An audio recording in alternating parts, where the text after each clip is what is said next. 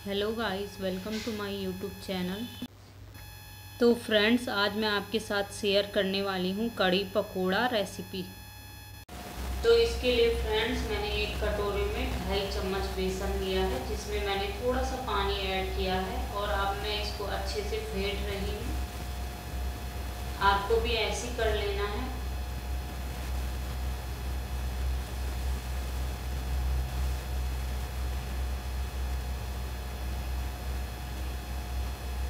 थोड़ा सा पानी और ऐड करना है।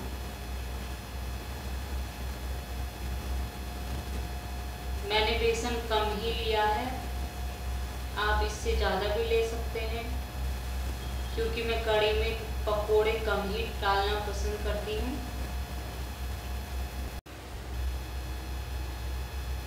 अब ये तैयार होने वाला है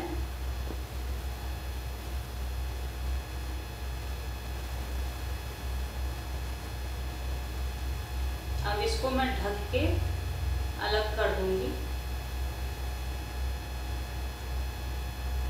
अब मैं गैस में कढ़ाई में तेल ले लूँगी।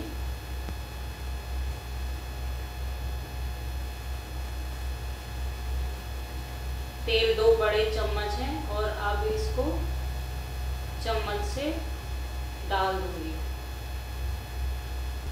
आप हाथ से भी पकोड़े बना सकते हैं। मैं चम्मच से ही इसको डाल रही हूँ। तो अब इनको अच्छे से पकने देना है, ब्राउन होने देना है इनको।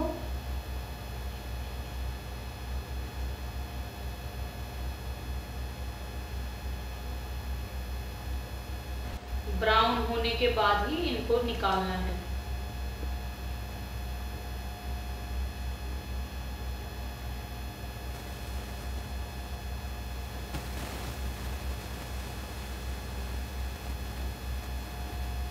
अच्छे से ब्राउन कर लेंगे इनको।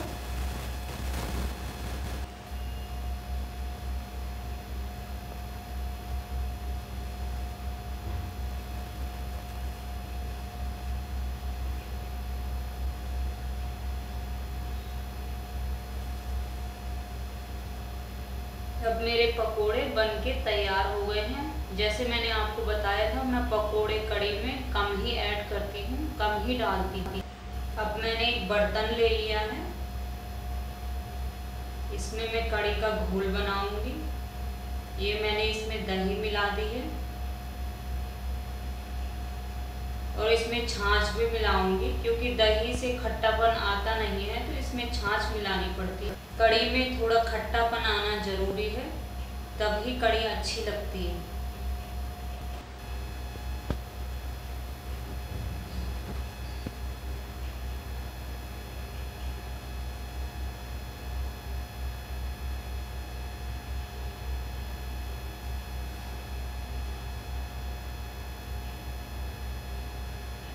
और अब इसमें मैं ढाई चम्मच बेसन मिला लूँगी।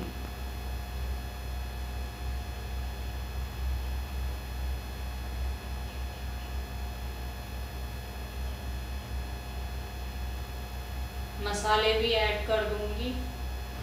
इसमें मैंने लहसुन लिया है, तीन चार कलियाँ कुटी हुई हल्दी पाउडर, मिर्च पाउडर, धनिया पाउडर और नमक अपने स्वाद अनुसार इसमें डाल दूँगी।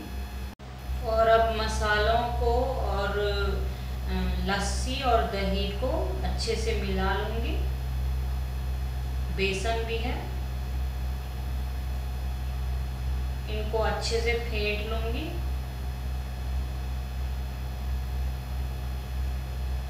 मैं चम्मच से फेंट रही हूँ, आप हाथ का यूज़ भी कर सकते हैं। और अब ये बनने वाला है, तैयार होने वाला है। और ये तैयार हो चुका है।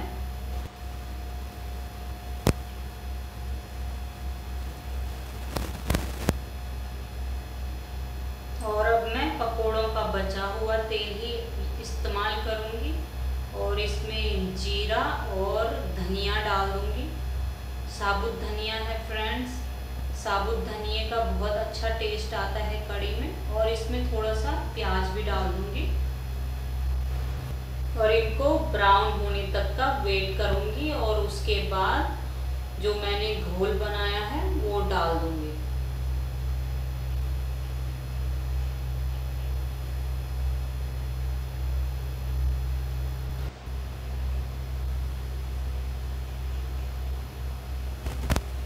और ये ब्राउन हो चुके हैं और अब मैं इसमें दही, लस्सी और बेसन का घोल ऐड कर दूँगी।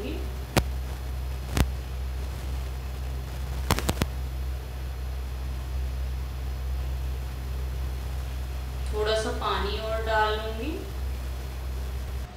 इस घोल को अच्छे से मिला लेना है फ्रेंड्स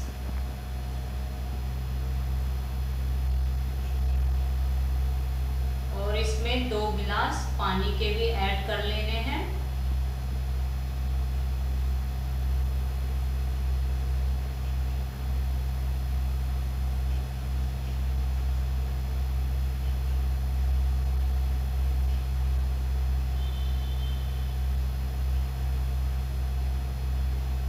और अब इस पे उबाल आने तक का वेट करें इसको धीमी आँच पे पकाएँ।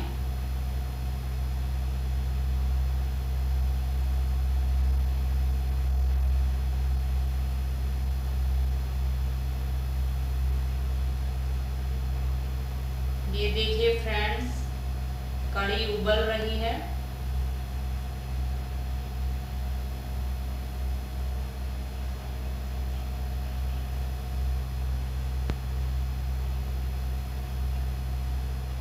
कड़ी उबल चुकी है और अब इसमें पकोड़े ऐड कर दें। पकोड़े बहुत कम हैं फ्रेंड्स, मैंने पहले ही बताया था। पकोड़े मैं कम ही डालती हूँ कड़ी में। आप चाहें तो इसमें ज़्यादा पकोड़े भी ऐड कर सकते हैं। और अब ये बन चुकी है। फ्रेंड्स, अगर आपको ये रेसिपी पसंद आई हो तो लाइक, शेयर एंड सब्सक्राइब करना ना भूलें। And thank you so much for watching.